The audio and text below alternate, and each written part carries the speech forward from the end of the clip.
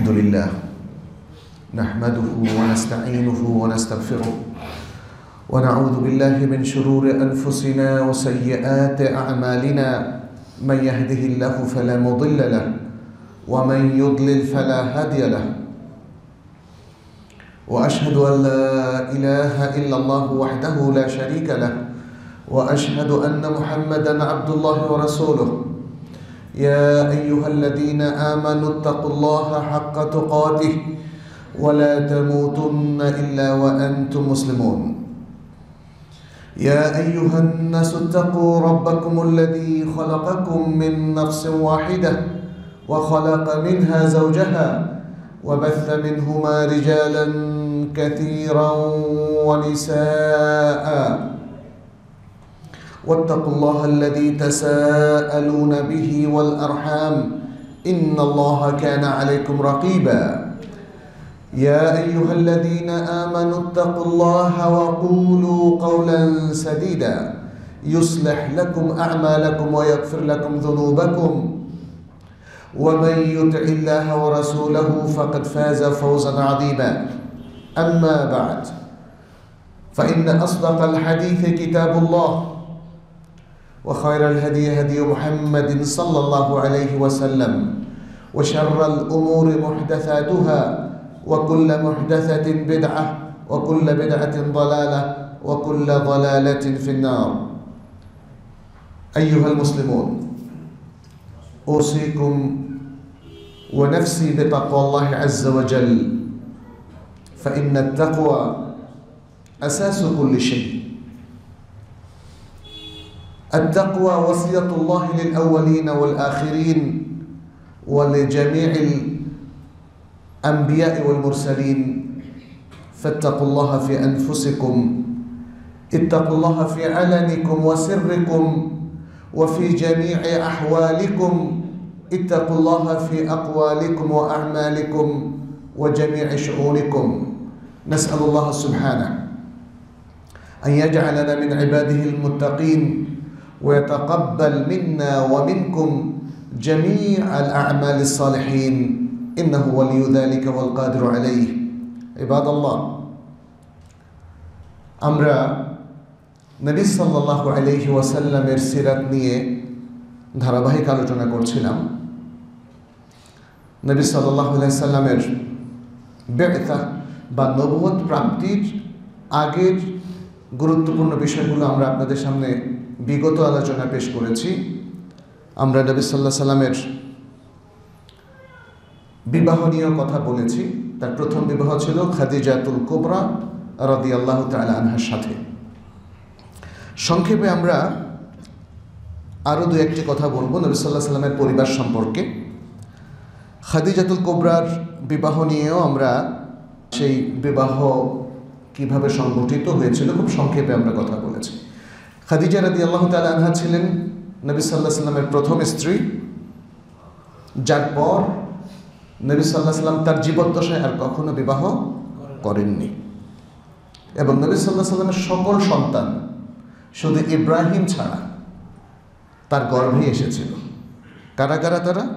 তার দুই পুত্র আল কাসেম এবং আবদুল্লাহ আর তার চার মেয়ে জাইনাব, উম্মে কুলথুম ফাতিমা এবং রুকাইয়া। এই মোট ছয় সন্তান রসুল্লাহ সাল্লাহ সাল্লাম খাদিজাতুল কোবরার গর্ভে প্রাপ্ত হয়েছিলেন। আর ইব্রাহিম, আপনারা জানেন, মারিয়া কিপ্তিয়ার গর্ভে এসেছিলেন। নবী সাল্লাহ সাল্লামের স্ত্রী কারা কারা ছিলেন? খাদিজাতুল কোবরার পরে তার যে স্ত্রীগণ ছিলেন, ধারাবাহিকভাবে তারা সাউদা বিনতে عائشة بنت أبي بكر حفصة بنت عمر زينب بنت خزيمة أم سلمة هند بنت أبي أمية أم حبيبة رملة بنت أبي سفيان جويرة بنت الحارث ميمونة بنت الحارث صفية بنت حوي ابن أخطب زينب بنت جحش رضي الله تعالى عنهن أجمعين. أرتار. সন্তানদের বিষয়টা তো আমরা বললামই। নবী সাল্লাহ সাল্লামের জীবদ্দশায় তার সকল সন্তান মারা গিয়েছেন। ফতেমা রাদি আল্লাহ তালানহা ছাড়া। তাহলে তার টোটাল সন্তান ছিল সাতজন। এই সাতজনের মধ্যে ছয়জনই নবী সাল্লাহ সাল্লামের জীবদ্দশা মারা গিয়েছেন। একজন বাবা হিসাবে এটা খুবই কষ্টকর ছিল, কিন্তু তিনি ধৈর্য ধরেছেন। এবং শুধু তাই না, তার কোনো নাতনি যখন মারা গিয়েছিলেন, তখনও তাকে বারবার খবর দেওয়ার পরে তিনি বলছেন, তারা যেন আল্লাহর কাছে সবের আশা করে এবং যেন সবর করে। তাহলে মৃত্যুতে বিলাপ করা হৈহুল্লার করা, আল্লাহর কাছে শেখায়াত করা, এটা কিন্তু ইসলামিক পদ্ধতি নয়। সবর করা এবং সবের আশা করা, এটাই হচ্ছে আমাদের জন্য করণীয়। এভাবে সিরাতের প্রত্যেকটা জায়গা আমরা বিশ্লেষণ করলে দেখব যে আমাদের অনেক কিছু শেখার আছে। এই জীবনটা আমাদের সত্যি সুখময়, শান্তিময় হতে পারে যদি আমরা ইসলামের এই নির্দেশনাগুলো মেনে চলি। কারণ আপনি যেভাবে এই যেমন আমাদের সমাজে আজকে যে অস্থিরতা, মানুষের মধ্যে ইমান থেকে সরে যাওয়ার প্রবণতা কিংবা আজকাল তো দেখা যাচ্ছে আত্মহত্যা করার প্রবণতা প্রবলভাবে বৃদ্ধি পেয়েছে। শুধু বিচ্ছিন্ন ঘটনা যেটা ইদানিং ঘটেছে, এটা নয়। এটা অনেক শিশু কিশোরদের মধ্যেও লক্ষ্য করা গেছে। ছাত্রছাত্রী, তরুণ তরুণীদের মধ্যে লক্ষ্য করা গেছে যে আত্মহত্যার প্রবণতা বেড়ে উঠেছে। কেন? এটা মানসিক অস্থিরতার ফসল। এবং এটা হচ্ছে ইমান না থাকার একটা পরিণতি। এটা হচ্ছে যেটাকে কানুদ বলা হয় ফ্রাস্ট্রেশন হতাশার একটা দিক। একজন ব্যক্তি যখন আত্মহত্যা করে, তখন তার মধ্যে হতাশা কাজ করে। যিনি আত্মহত্যা করেছেন, তার মধ্যে যতটুকু হতাশা, তার চেয়ে আরও বেশি হতাশা নিয়ে অনেক মানুষ আছেন না? টিকে আছেন না? টিকে আছেন। টিকে আছেন because of Iman because of confidence in Allah আল্লাহর প্রতি তার এত চরম আস্থা যে তিনি পৃথিবীর কোনো সমস্যাকেই ওইভাবে কনসিডার করেন না। নবী সাল্লাহ সাল্লামের উপর যত ঝড়ঝঞ্ঝা এসেছিল, তার বিশেষ করে নবুয়তের পর থেকে তার মাক্কি কিংবা মাদানের জীবনের শেষ পর্যন্ত সেটা কি আর কারও এসেছে? সুহানাল্লাহ তারপরেও তো তিনি দিনের পথে টিকে ছিলেন। এখানে যে ঘটনাটা বলা হয়, যে নবী সাল্লাহ সাল্লাম এর উপর যখন প্রথম ওহি নাজেল হয়েছে তারপরে ওহি বন্ধ হয়ে যায়। এই সময় তিনি খুবই হতাশার মধ্যে ছিলেন। বোখারির একটা বর্ণনার শেষে দেখা যায় যে তিনি পাহাড়ের উপর থেকে ঝাঁপিয়ে পড়তে চেয়েছিলেন। সেই ব্যাপারে আমাদের ওলামাই কেরামের কথা হচ্ছে যে, এই যে অতিরিক্ত অংশটা, এটা কোনো এক রাবির সংযোজন। এটি শুদ্ধ নয়। এটি শুদ্ধ নয়। নবী সাল্লাহ সাল্লামকে আল্লাহ তালা যে মেন্টাল স্ট্রেংথ দিয়েছিলেন, তার সাথে এটা যায় না। তাছাড়া শুধু একজনের গবেষণা, একজন ব্যক্তির বক্তব্য তো এখানে শেষ কথা নয়। এখানে আমাদের স্কলাররা কি বলেছেন, সেটা আমাদের দেখার বিষয়।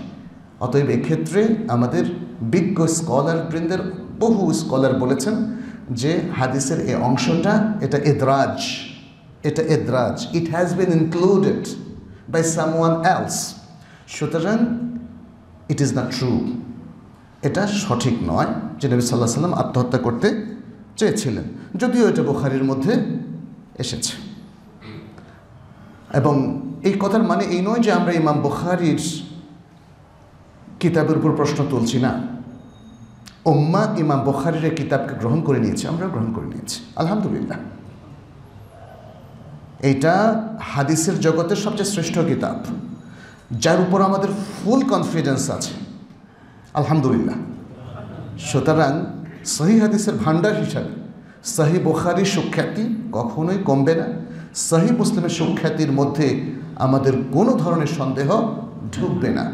কিন্তু আজকাল অনেক মানুষ যারা হয়তো জ্ঞানীগুণী নয়, হাদিসের সাথে তারা দীর্ঘ সহাবস্থান করেনি এবং হাদিসের যে মালাকা এলমিয়া যে গভীর জ্ঞান, দক্ষতা, যেটা হাদিসের জ্ঞানের সাথে বসবাসের কারণে অর্জিত হয় সেই অর্জন ছাড়াই অনেকে আজে বাজে উল্টাপাল্টা বক্তব্য দিচ্ছে। তাদের সে বক্তব্য অনেকের মধ্যে কনফিউশন সৃষ্টি করছে, সেটাও গ্রহণযোগ্য নয়। মনে রাখতে হবে। তাহলে প্রত্যেক ক্ষেত্রে কাদের কথা গ্রহণযোগ্য হবে? যারা এক্সপার্ট তাদের কথা। যারা এক্সপার্ট তাদের কথা। সুতরাং হাদিসের যারা এক্সপার্ট সেই হাসান আল বাসরি ইমাম জহুরি, ইয়াহিয়া ইবনু মাইন ইমাম আহমেদ ইবনে হাম্বাল সহ প্রাচীন যুগের ইমাম বখারি ইমাম মুসলিম ইনাদের কথা আমাদেরকে গ্রহণ করতে হবে। দেখতে হবে যে হাদিস নিয়ে এনারা কি বলেছেন। শেক্সপার্টদের কথাগুলো ইগনোর করে কোন সলিমুদ্দিন কলিমুদ্দিন কি বলেছেন? আজকের আধুনিক মানুষ তাদের নিয়ে ব্যস্ত থাকে তাদের বক্তব্যকে গ্রহণ করে এটা খুবই খুবই দুঃখজনক তাই না? আল্লাহ আমাদের সবাইকে রক্ষা করুন। রসুল সাল্লাহ সাল্লামের নবতের ঘটনা এটা সহি বুখারির একদম প্রথম দিকের কিতাব বাদ ইল ওয়াহের মধ্যে বর্ণিত হয়েছে, একদম ডিটেলস আয়সা রাদি আল্লাহ তালহা সে বর্ণনাটা করেছেন। সেখানে আমরা দেখি আয়সা রাদি আল্লাহ তালহা বলছেন যে প্রথম দিকের ওহি কীভাবে আসতো? নবী সাল্লাহ সাল্লামের কাছে সত্য স্বপ্ন হিসাবে দেখা দিত। এমনকি তিনি যে স্বপ্ন দেখতেন তাই বাস্তবে সেটা বাস্তবায়িত হতো, ফলে এটা ছিল তার আলামাতুন্নবুয়া এগুলো ওহির একটা প্রকরণ। ওহির তো অনেকগুলো প্রকরণ আছে, তার মধ্যে স্বপ্ন নবীদের স্বপ্ন দেখা, অর্থাৎ তাদেরকে শব্দের মাধ্যমে ওহি দেওয়া হতো। নবী সাল্লাহ সাল্লামের ওহির প্রাথমিক পর্যায়ে সেভাবেই শুরু হয়েছিল। এরপর একটা সময়ে নবী সাল্লাহ সাল্লামের কাছে নির্জনতা ভালো লাগল। তিনি হেরা গুহায় কিছু সময় কাটাতেন, খুব লম্বা সময় কাটাতেন। একসাথে কয়েকদিন সেখানে গিয়ে নির্জনে থাকতেন। খাদ্য তিনি নিয়ে যেতেন, কখনো এসে খাদিজার রাদি আল্লাহ তাল্লাহার কাছ থেকেও খাদ্য নিয়ে সেখানে সময় কাটাতেন। এতে একটা বিষয় বোঝা যায়, এটা কিন্তু বৈরাগ্যবাদ নয়। এটা হচ্ছে নিজেকে সমাজের কোলাহল থেকে মুক্ত করে একটা বিশেষ উদ্দেশ্যে নিজেকে প্রস্তুত করা। কারণ নবী সাল্লাহ সাল্লামের কাছে তখন মনে হতো সমাজের প্রচলিত ব্যবস্থাপনায় অনেক গলত আর এটা ছিল আল্লাহ তালার পক্ষ থেকে একটা নির্দেশনাও। তিনি যা করেছেন সব কিছুই আল্লাহ নির্দেশেই করেছেন। ফলে এর মধ্য দিয়ে মানুষের সমাজের নানা অপকালচার কিন্তু বা অপকীর্তি থেকে নিজেকে মুক্ত করার একটা ট্রেনিং কিন্তু হয়ে যায়। নবী সাল্লাহ সাল্লাম যেহেতু আর কিছুকাল পরে সরাসরি অভিপ্রাপ্ত হবেন জিবরিল আলহামের মাধ্যমে, ফলে তাকে সেভাবেই আল্লাহ তালা প্রস্তুত করেছিলেন। এর মধ্যে আমরা জানি জিবরিল সাল্লাম আসলেন তার কাছে। প্রথম ওহি নিয়ে তাকে বললেন একর তিনি বললেন, মা আনা বেকারি আমি পড়তে যাই না। তাকে বলা হলো, তুমি পড়ো কিন্তু তিনি বললেন, কি? আমি পড়তে জানি না। বোখারির বর্ণনা এসেছে, তখন জিবুল্লাহাম তাকে তাকে ভালো করে কোলাকুলি করলেন, অর্থাৎ চেপে ধরলেন, এমনভাবে তার মনে হলো যে সব কিছু মনে হয় অস্থিমজ্জা সব সব গুড়িয়ে যাবে। এর মধ্যে আবার তাকে ছেড়ে দেওয়া হলো, বলা হলো একরা উনি বললেন, মা আনা বেকারি। আবারও তৃতীয়বারের মতো বললেন একরা বললেন, মা আনা বেকারি। এরপরে জিব্রাইল এখন কিন্তু হয়ে গেছে প্রস্তুতি। জিব্রাইল সাল্লাম তাকে বললেন, ইকরা বিসমে রব্বিকাল্লাদি খলাক খলাক আল ইনসান বিন আলাক, ইকরা, ও রব্বুকাল আকরম আল্লাদি আল্লামা বিল কলম আল্লাম আল ইনসান মালাম ইয়ালাম। অসাধারণ আয়াতগুলো পড়ে দেখেন সুহানুল্লাহ গায়ের পশম খাড়া হয়ে যাওয়ার মতো। মানব ইতিহাসের সবচেয়ে সুন্দর নির্দেশনা একরা পড়ো একরা বিস্ম রব্বিকাল্লাদি খলাক। পড়ো তোমার প্রভুর নামে, যিনি তোমাকে সৃষ্টি করেছেন। একরা ও রব্বুকাল আকরম পড়ো, আর তোমার প্রভু মহান আল্লাদি আল্লামা বিল কলম। যিনি কলম দিয়ে শিখিয়েছেন আল্লাম আল ইনসানা মালামি আলাম মানুষ যা জানতো না তা তিনি তাদেরকে শিখিয়েছেন। সুহান আল্লাহ এত অল্প কথায় এত বিশাল কিছু বলা যায়, এটা আল্লাহ ছাড়া কারও পক্ষে সম্ভব নয় সুহান আল্লাহ নবী সাল্লাহ সাল্লাম সেই বাণীগুলো নিয়ে বাসায় ফিরলেন। ওহির প্রভাবে তখন তার মধ্যে কম্পন সৃষ্টি হয়ে গেছে, জ্বর চলে এসেছে শরীরের তাপ বেড়ে গিয়েছে। এসে তিনি খাদিজার কাছে, প্রিয়তম স্ত্রীর কাছে তিনি আসলেন। এখানেও আরেকটা জিনিস। তিনি তো অন্য কোনো ব্যক্তির কাছেও যেতে পারতেন। তাই না? তাহলে স্ত্রী আমাদের কাছে খুব ভালো একটা আশ্রয়। কিন্তু সেই স্ত্রী হতে হবে প্রিয়তমা স্ত্রী। সে স্ত্রী আমাদেরকে ভালোবাসা দিতে হবে। বিশ্বস্ত হতে হবে। রসুল সাল্লাহ সাল্লাম তাকে বলেছেন, জাম্মেলুনি জাম্মেলুনি। বাসায় আরও ছিল। অনেকে বলেছেন, আমাকে তোমরা আবৃত্ত করে দাও, ঢেকে দাও। কারণ তখন তার পুরোপুরি শীত এসে গেছে শরীরে, তাই না? শরীরের তাপ বেড়ে গেলে কিন্তু তখন শীত বাড়ে। এই, তাকে বস্ত্র দিয়ে আবৃত করা হলো। খাদিজা তাকে, তার পাশে বসলেন এবং তাকে যখন শুশ্রূষা করছিলেন, তখন রসুল সাল্লাহ সাল্লাম তাকে বললেন কি, আমি আমার উপর আশঙ্কা করছি। আমি আমার উপরে আশঙ্কা করছি, ক্ষতির আশঙ্কা করছি। তখন তিনি বললেন, কাল্লা লাইজিক আল্লাহ আবেদা। না, কখনো নয়। আল্লাহ আপনাকে কখনোই অপমানিত, লাঞ্ছিত করবেন না। ইন্না কালা তসিলুর রাহিম। নিশ্চয়ই আপনি আত্মীয়তার সম্পর্ক রক্ষা করেন। ও তাহমেলুল কাল। এবং দুস্থ কিংবা যারা কষ্টে নিপীড়িত মানুষ, তাদের ভার আপনি বহন করেন। তাদের দায়িত্ব আপনি নেন। লাতাসালুর রাহিম ও তাহমেলুল কাল ও তুইন আলা নওয়াহিব দাহার ও ট্যাক্সিবুল মাদুম আরও বিভিন্ন কথা তিনি সেখানে বলেছিলেন, তুমি যারা দুস্থ, যাদের কাছে কোনো সম্পদ নাই আপনি তাদেরকে সাহায্য করেন? যারা আজকে দুস্থ এবং বিপদ আপদে জড়ার জন্য তাদেরকে আপনি সাহায্য করেন।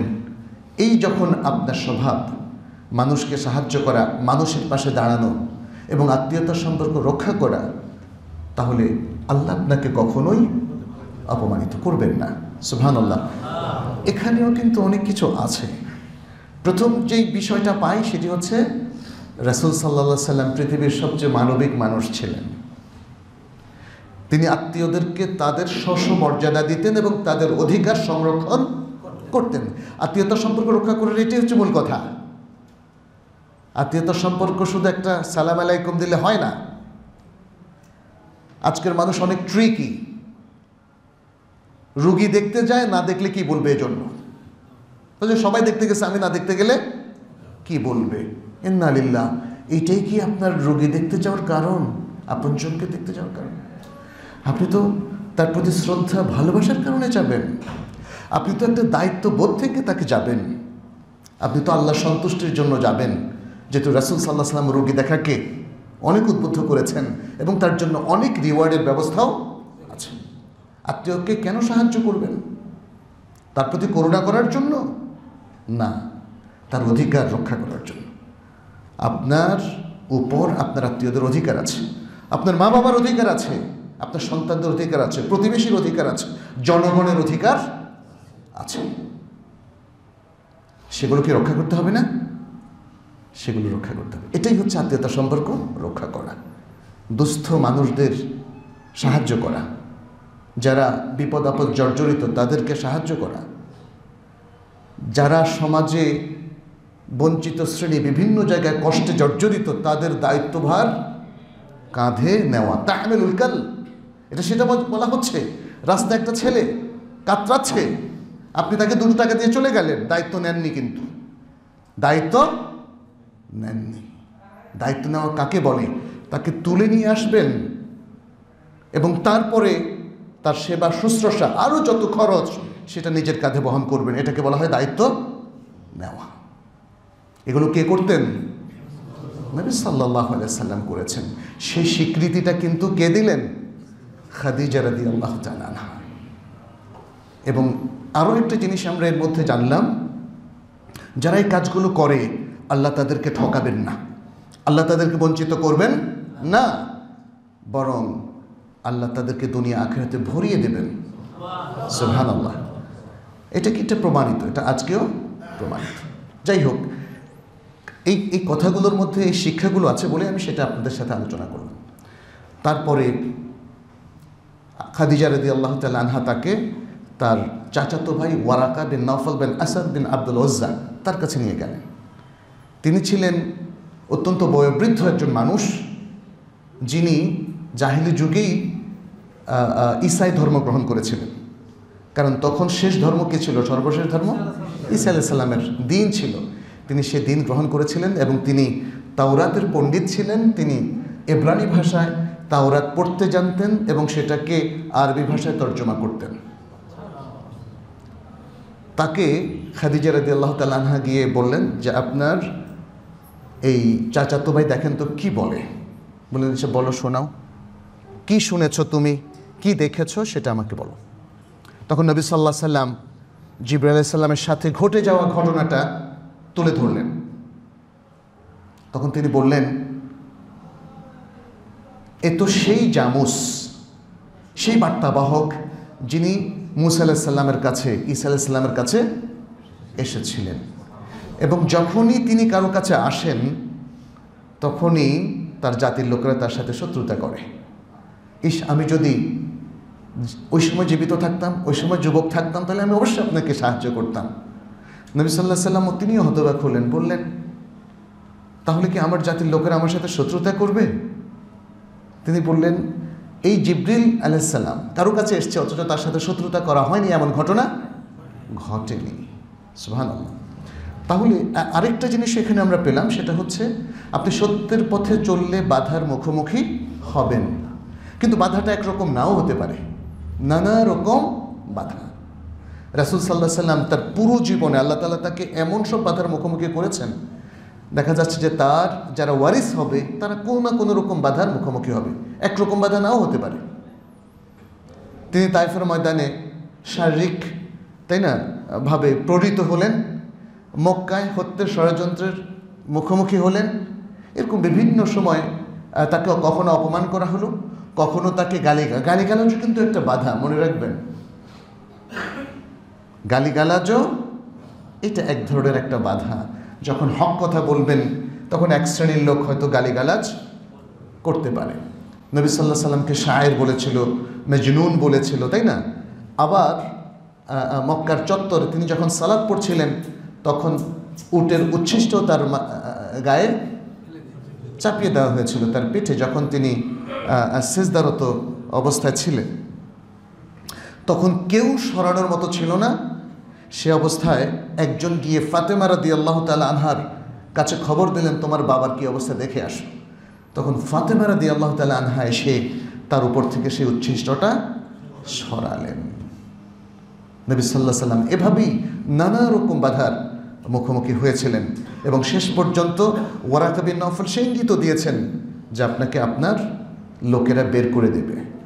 নবী সাল্লাম বললেন, আমাকে কি এদেশ থেকে আমার জন্মভূমি থেকে বের করে দেওয়া হবে? সুহান আল্লাহ এবং সেটা আমরা হিজরতের ঘটনা আকারে জানি।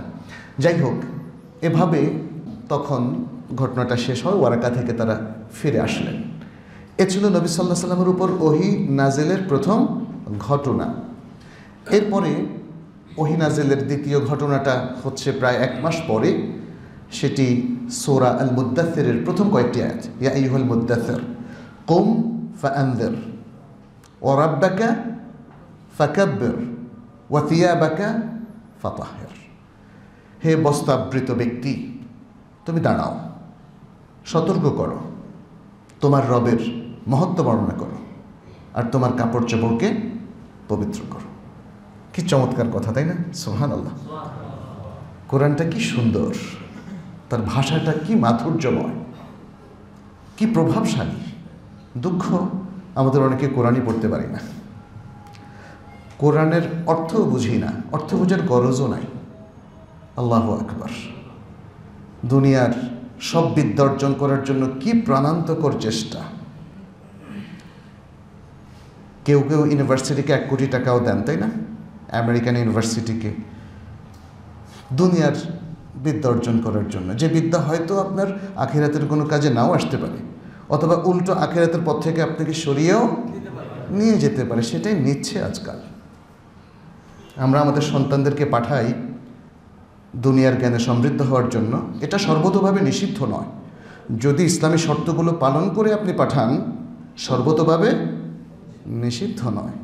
কিন্তু যদি শর্তগুলো লঙ্ঘিত হয়, তাহলে নিষিদ্ধ।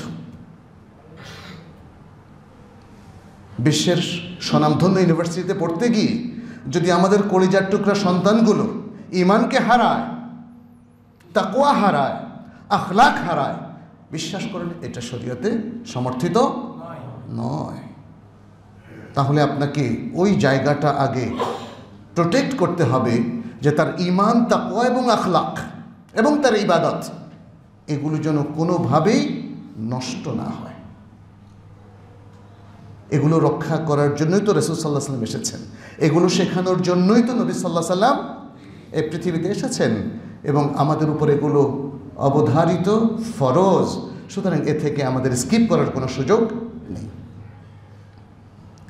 নবী সাল্লাহ আলাইহি ওয়াসাল্লাম, তিনি, আমরা দেখি যে তার নবুয়ত নাজেলের পরপরই তিনি দাওয়াতি কাজে নেমে গেলেন। দুটো ভাগে বিভক্ত ছিল মাক্কি জীবনে তার দাওয়াতি কাজ। মাক্কি জীবনে আমাদের অনেক লেসন আছে। সেটা হয়তো আরও বেশ কিছু কথা আমরা পরবর্তী খুদবায় বলব ইনশাল্লাহ এখানে আল মারাহেল আসরিয়া আল মারাহেল আল জাহরিয়া দুটো অধ্যায়। একটা হলো খুবই ব্যক্তিগত পর্যায়ে গোপনীয়তা রক্ষা করে মানুষকে দিন শেখানো। নবী সাল্লাহ সাল্লামকে আল্লাহ তালা বলেছেন ও আন্দের আশি রাতাকাল আকরাবিন সুরাত শোয়ারার মধ্যে। ও আন্দের আশি রাতাকাল আকরাবিন তুমি তোমার আত্মীয় স্বজনকে সতর্ক করো। তাহলে এটা খুব ইম্পর্ট্যান্ট একটা ইস্যু যে আপনি যখন দাওয়াতি কাজে যাবেন, নিজের পরিবার, পরিজন পাড়া প্রতিবেশী, আত্মীয় স্বজনকে ফেলে দূর দেশে যাবেন দাওয়াতি কাজ করতে। এটা ইসলামিক সিস্টেম নয়। আগে আপনজনকে গাইড করতে হবে। আপনজনকে আগে শেখাতে হবে। রেলেম অর্জনে তাদেরকে সাহায্য করতে হবে। তাদেরকে আগে হেদায়তের মধ্যে ট্রেনিং দিতে হবে এবং তারপরে তারপরের এভাবে। মানে আপনি মাঝখানে অনেক বড় গ্যাপ করে দূরে চলে যাবেন। এটা নবী সাল্লাহ সাল্লামের সুন্না নয়। দাওয়াতের সিস্টেম নয়। এবং কোরআনেও সেটাই বলেছে ও আন্দার আশি রাতাকাল আকরাবিন। নবী সাল্লাহ সাল্লাম তার আপনজনকে আপনি দেখেন।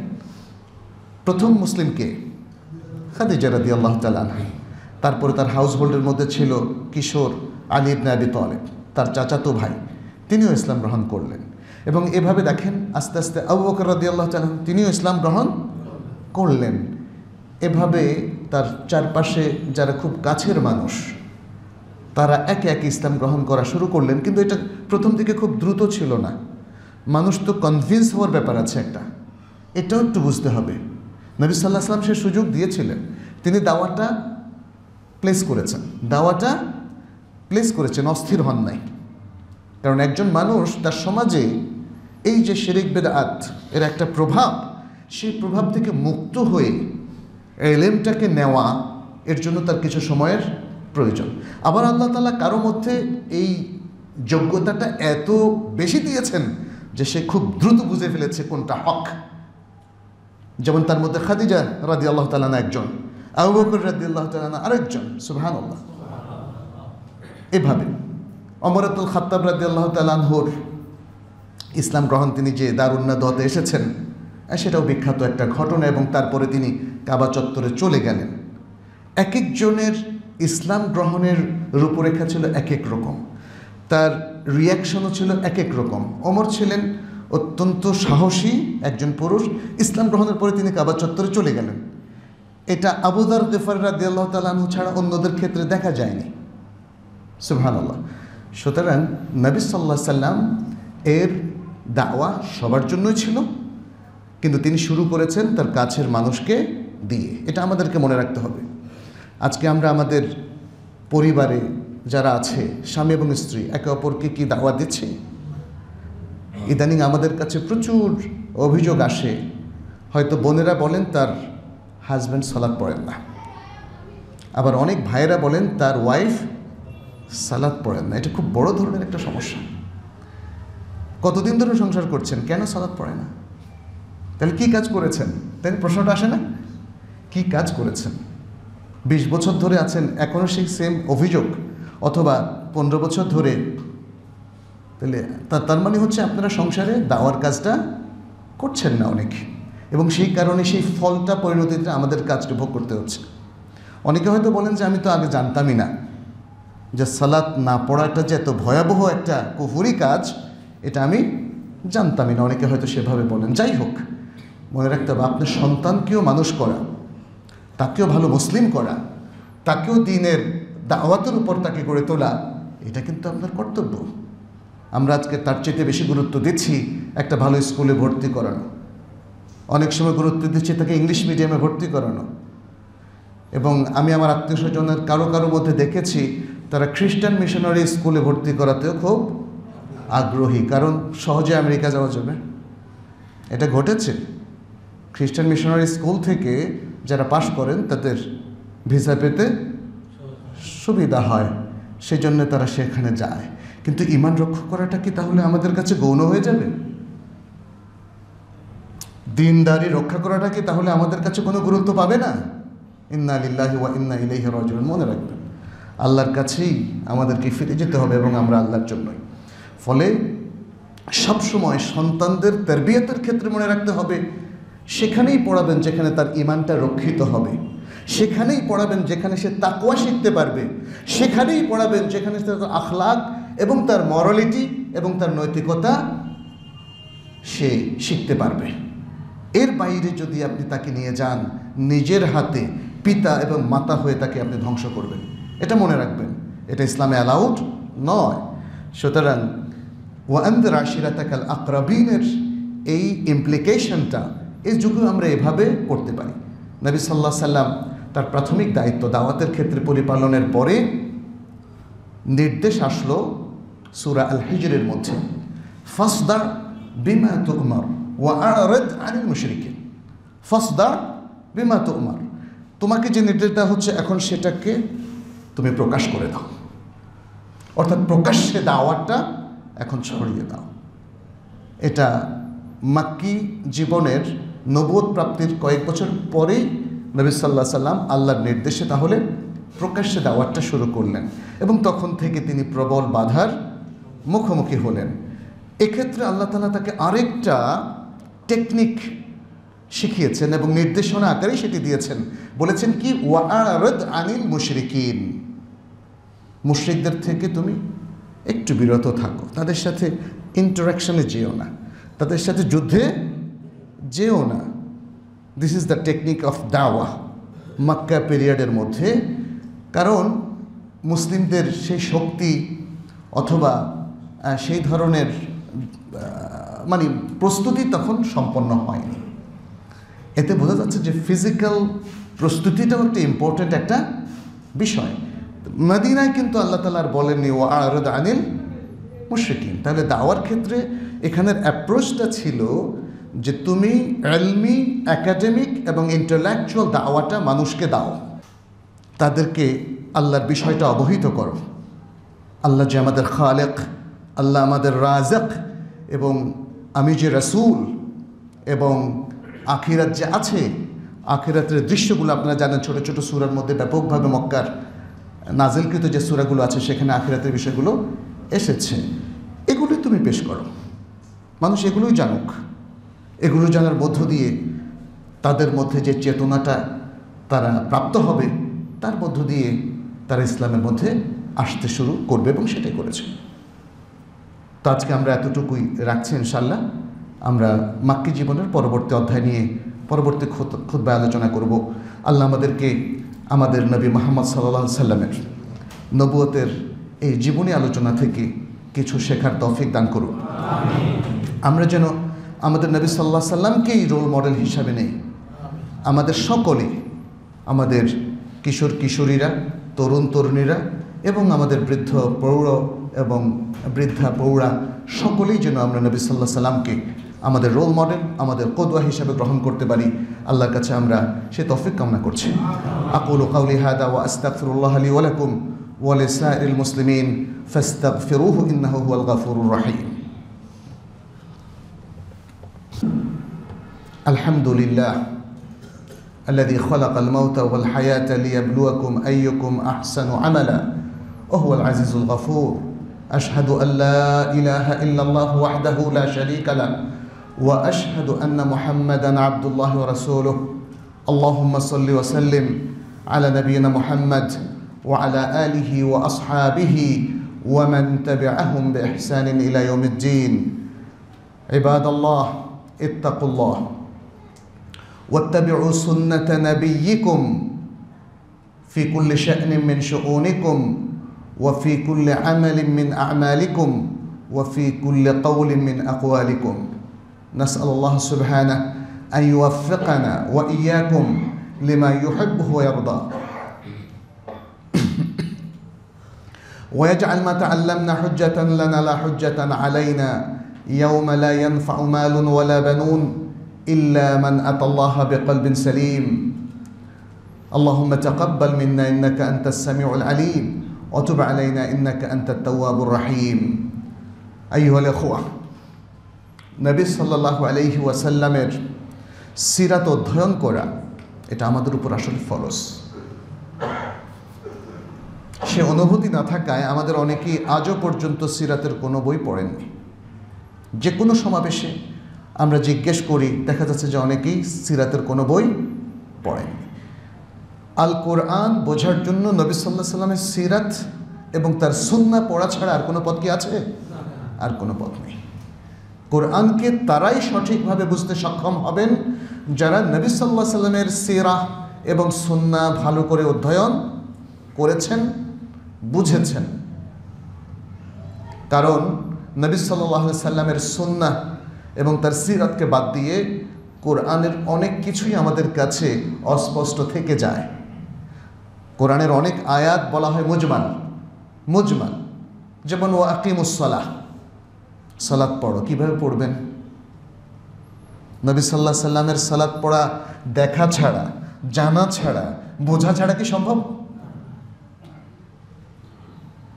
ফামান শাহিদামিন কুমুর শাহরা ফেলিয়াসুম যারা রামাদান মাঝে উপস্থিত হয় তারা যেন সিয়াম পালন করবে কিভাবে করবেন বৌদ্ধদের মতো নাকি খ্রিস্টানদের উপবাস ব্রতের মতো নাকি নবী সাল্লাহ সাল্লামের মতো তাহলে নবী সাল্লাহ সাল্লামের সিরাত শিখতেই হবে كيف كان يصلي رسول الله صلى الله عليه وسلم كيف كان يصوم رسول الله صلى الله عليه وسلم كيف كان يزكي رسول الله صلى الله عليه وسلم وكيف كان يحج النبي صلى الله عليه وسلم وكيف كان يعتمر النبي صلى الله عليه وسلم কীভাবে নবী সাল্লাহ সাল্লাম সলাদ পড়তেন সাওম পড়তেন সাওম রাখতেন জাকাত দিতেন হজ করতেন অমরা করতেন কোরবানি করতেন কিভাবে তিনি বিবাহ সম্পন্ন করেছেন তালাককে রেকমেন্ড করেছেন ব্যবসা বাণিজ্য কিভাবে চালানোর জন্য তিনি নির্দেশনা দিয়েছেন এবং নিজে চালিয়েছেন এসব কিছুই আমাদেরকে জানতে হবে। আসুন, আমরা নবী সাল্লাহ সাল্লামের সিরাত থেকে এবং তার সুন্না থেকে সেগুলো জানার চেষ্টা করি। আর সিরাহ ও সুন্না দুটো অঙ্গাঙ্গিভাবে জড়িত বিষয় যেটা নবী সাল্লাহ সাল্লামের সাথে রিলেটেড এবং এই জন্য মেদিনা ইউনিভার্সিটিতে একটা আলাদা গবেষণা প্রতিষ্ঠানই আছে, সেটা হলো মার্কাজ আসিরা ও সন্ন্যান্নাবাবুইয়া সেন্টার ফর সিরা অ্যান্ড সন্না আন্নাবাবুইয়া আমাদের দেশে এগুলো হওয়া দরকার। আল্লাহ আমাদেরকে তফিক দান করুন।